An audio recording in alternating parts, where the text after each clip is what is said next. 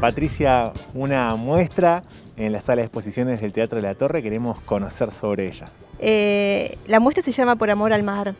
Eh, en realidad, bueno, es, básicamente son marinas, como ya tengo acostumbrada a la gente y me, reconocen por, por mi obra, ¿verdad?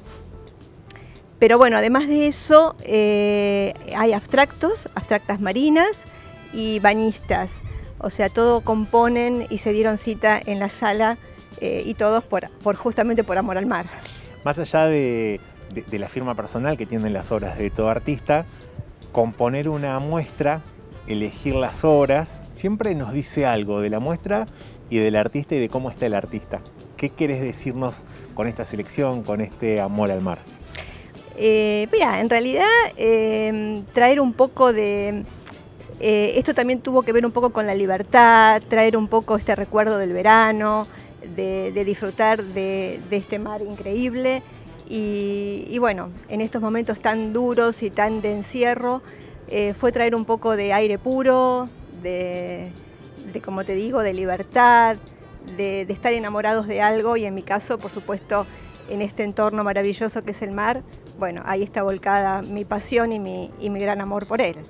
Seguramente hay muchas personas que eh, siendo creativos en la cuarentena y en estos momentos que uno pasa más tiempo en casa, han dado rienda suelta a una vocación, un hobby que tienen. Para los artistas que nunca mostraron nada, que no se animaron a mm. dar el pasito, ¿qué les puedes decir?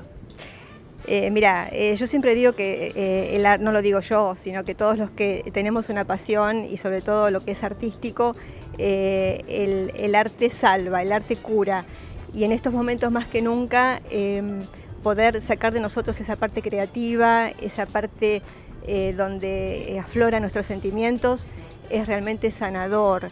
Eh, y poder llevar a la gente eh, esas sensaciones, poder que alguien vea tu obra y, hacer sentir al otro esto de, sentirse en carne viva, bueno, para el artista es, es mucho, es, es importante. Hay que animarse entonces hay que animarse y, nunca decir, no, yo de esto no, puedo, yo no, no, sirvo, todos podemos, todos tenemos esa beta eh, en la que ponemos el corazón. Quienes quieran conocer más de tus trabajos, ¿dónde pueden encontrarlos o verlos? Em, bueno, en mis redes, en Instagram, en Facebook, en mi página web, ahí van a poder ver las obras eh, disponibles y que también eh, hago por encargo a la medida de, de sus paredes, ¿verdad? De sus espacios. Recordaron las redes y la web. Patricia Brandalicio como Instagram y Patricia Brandalicio Arte en Facebook.